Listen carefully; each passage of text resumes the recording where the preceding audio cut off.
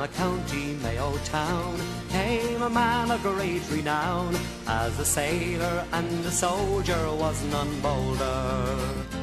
He went to America at an early age, they say, as a cabin boy to sail the wide world over. Then adventure took him south to the De La Plata mouth. San Martin was on the route in Argentina. So three whaling ships he bought, and Brazil and Spain he fought, and freedom then he sought for Argentina. Now, Admiral William Brown, you're a man of courage shown, and in battles fought, the odds were all against you. But your Irish heart was strong, and in memory still lives on, and in Ireland there are some that don't forget you. On St. Patrick's Day it's told, you had many victories bold. You defeated all invaders, thugs and bullies. Then through the pampas roamed, and you found a happy home. Las Islas Malvinas, Argentina. He had heard of Irish hands in a noble gallant band that helped to free the land called Argentina. Heard with the Patricio's name and fame when in 1806 the British came for slaughter. And to this very day, in the Argentine they say, the English ran away from Buenos Aires to the islands further down, and they took them for the crown. Las Islas Malvinas, Argentina. We remember William Brown and his land of great renown.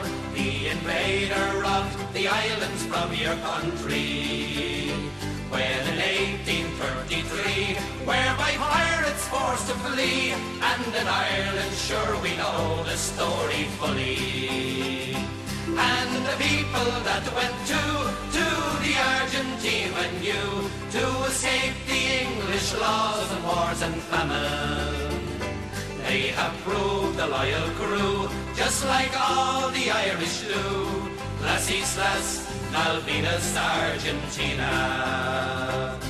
the old colonial days and the cruel English ways. With her thunder plunder we will teach the natives.